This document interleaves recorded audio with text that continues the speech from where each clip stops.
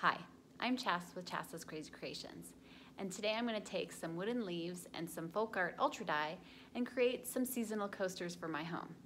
I also have some added tips for you on other ideas you could do with this simple idea. Let's get started.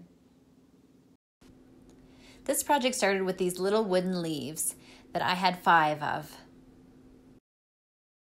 and I was excited to try this Folk Art Ultra Dye that comes in a variety of beautiful, vivid colors. I started with the color Pucker Up, and make sure you shake well these before using and use gloves to protect your hands from the dye. I painted the entire main part of the leaf with this color. I then use the color Solar Power to do the indents in the leaf and around the outside of the leaf. Let the dyes soak into the wood as long as you want.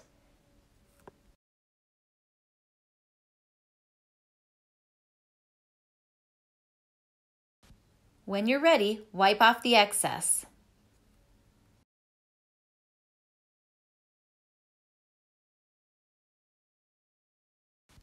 For my next leaf, I used infrared and hot flash.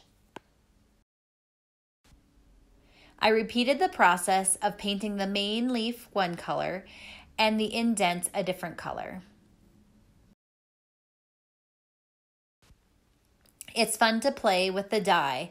You can add more, you can leave it on longer, and it affects the color onto the wood. For my next leaf, I used Emerald City and Venom colors. I was aiming for a darker color on the inside of the leaves and a lighter color on the outside, but you could easily mix and match many of these colors.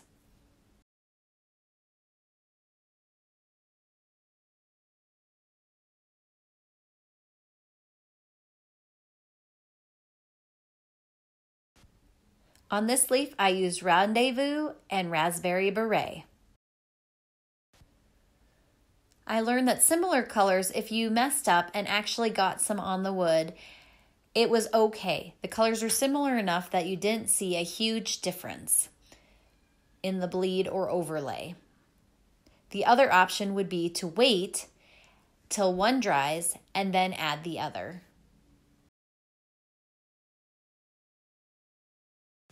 For my last leaf, I did Lady Marmalade and Purple Rain.